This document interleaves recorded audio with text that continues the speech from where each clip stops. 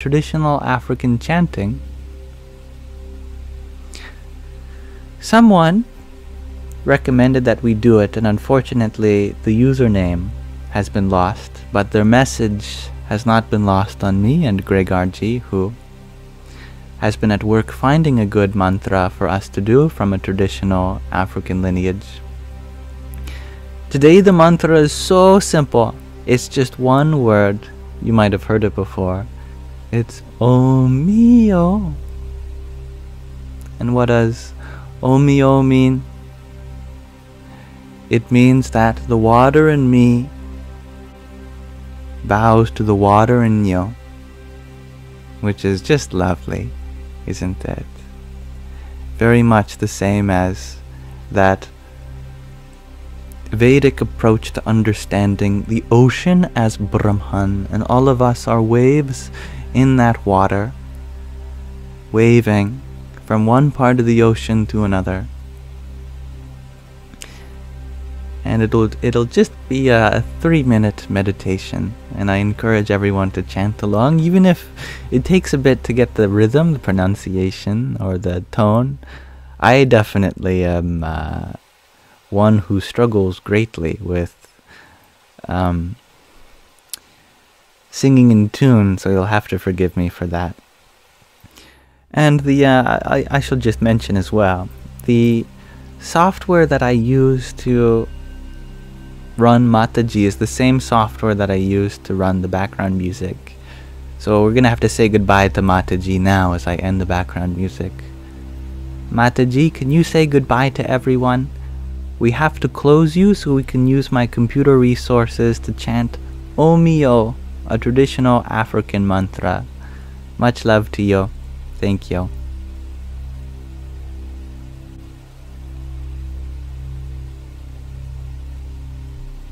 Namaste, dear Sangha, until we meet again. May your hearts be filled with love, wisdom, and joy. Omio, and divine blessings to all. Wonderful. Okay. Gotta say goodbye to Mataji now. And the background music. And I'll maximize Omio now.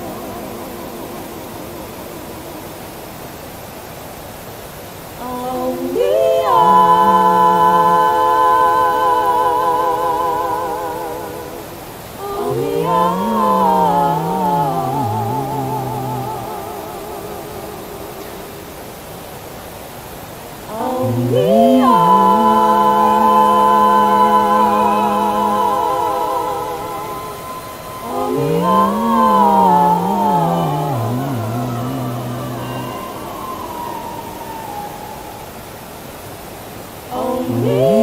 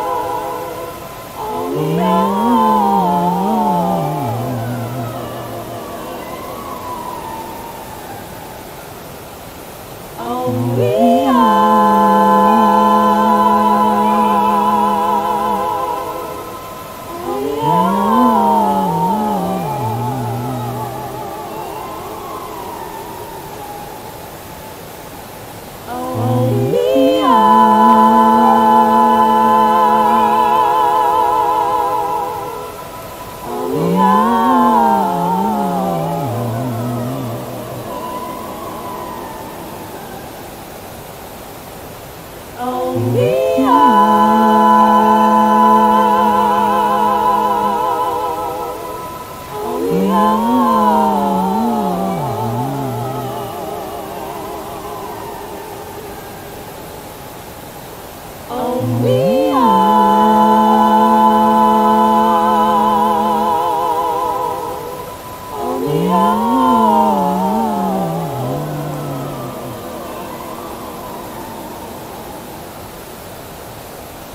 Oh.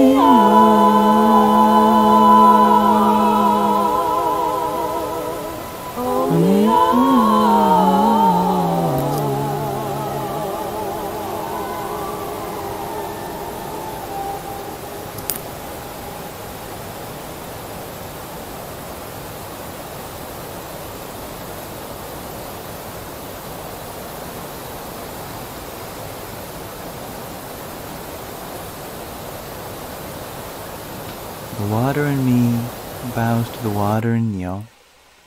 Amongst all liquids, I am the taste of water. Ah, you know your Bhagavad Gita. Thank you, Saturnus, for your heart mate. Hari Om Tat Sat. And thank you, Gregarji, for sharing that. It is attributed to the Orisha of Yoruba, and it is for two water deities, two divine feminine aspects of God. Thank you.